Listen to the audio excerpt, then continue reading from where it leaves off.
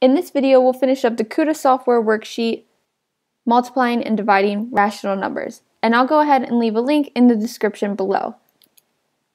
In the following problems, we're going to find each product. Number 21 says negative 11 times 9. Now, just like division, we're going to have four different options.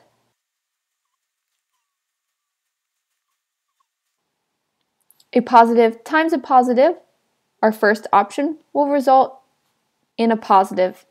A negative times a negative will also result in a positive.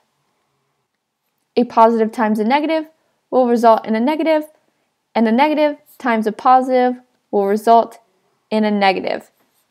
So for 21, we have a negative 11 times a positive 9. The signs are different, therefore we're going to have a negative answer.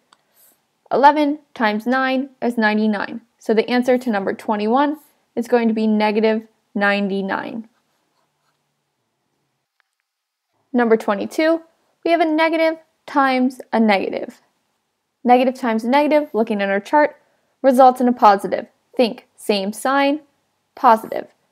So negative 7 times negative 12 is going to be a positive 84.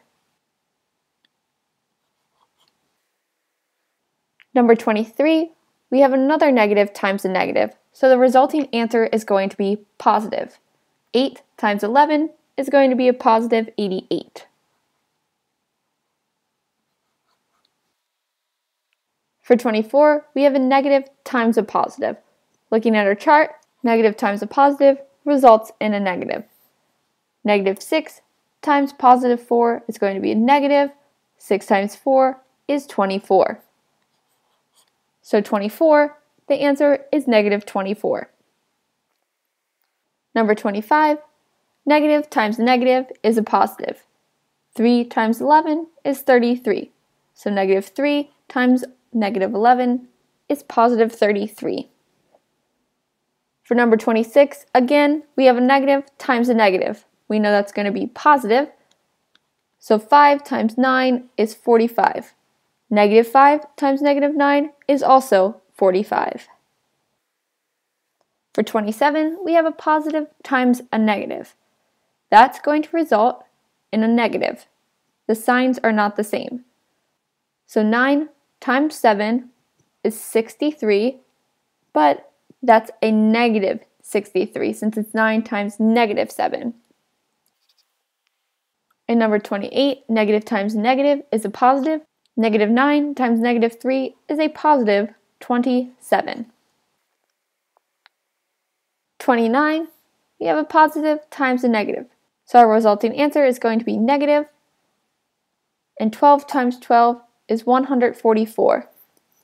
So 12 times negative 12 is negative 144. Number 30, we have a positive times a negative. 11 times negative 6 is going to be negative 66.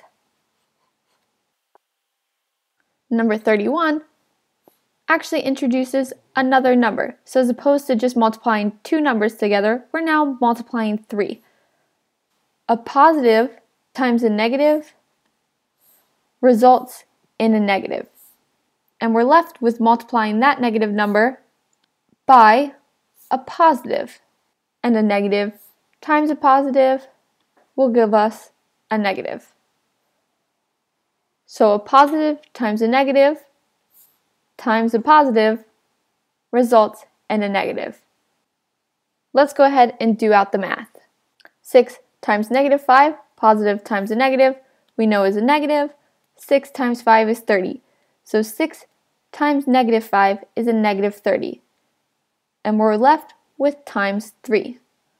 A negative times a positive is a negative, so negative 30 times positive 3 is going to give us a negative 90.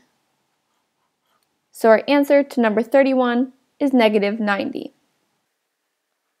For 32, we have a positive times a negative, which will result in a negative, and then that's multiplied to a positive. So negative times a positive will result in a negative. Doing the math, 6 times negative 1 is going to give us a negative 6. And we're left with the times 2. Negative 6 times 2 will give us a negative 12. So for number 32, we get negative 12. In number 33, we have a positive, a negative, and a negative. 8 times negative 6 results in a negative number. And we're left with a negative times a negative. A negative times a negative will be positive. So we know our final answer is going to be positive. Now 8 times negative 6 is going to be a negative 48, and that's going to be multiplied by a negative 3. Negative times a negative is a positive. 48 times 3 is going to give us 144. I'll go ahead and do that out longhand. 48 times 3, 8 times 3 is 24, carry the 2, 3 times 4 is 12, plus 2 is 14. 144.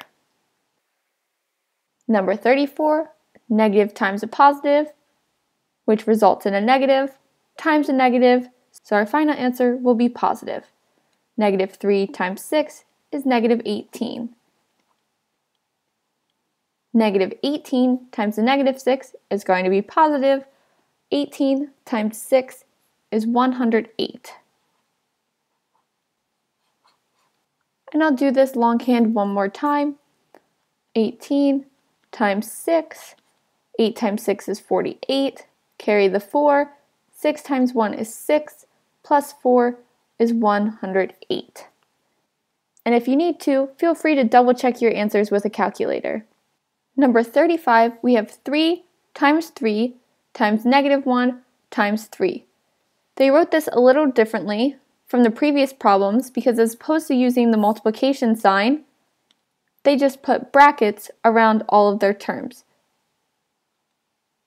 So multiplication happens between each of those terms. So 3 times 3 is going to be a positive 9, since both are positive, and then we're going to be left with times negative 1 times 3. And I'll put the parentheses around the 9 as well. 9 times a negative 1 is going to result in a negative 9, since we're multiplying a positive by a negative. And then we still have to multiply by that positive 3. Negative 9 times a positive 3 is going to be a negative 27. And moving on to our last problem, number 36. 36, we have a negative times a positive times a negative times a negative. If we multiply negative 3 times 3, we're going to get a negative 9. Because the order doesn't matter for multiplication, we can also go ahead and multiply negative 3 times negative 3. Negative times a negative is going to give us a positive.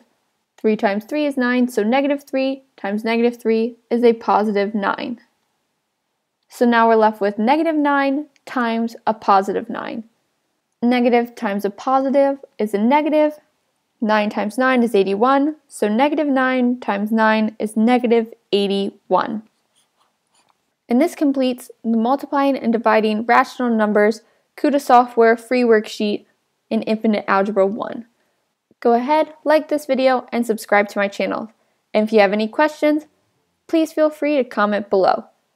And if you need more in-depth explanation of multiplying and dividing negative and positive numbers together, go look through my video tutorials on my website or on YouTube.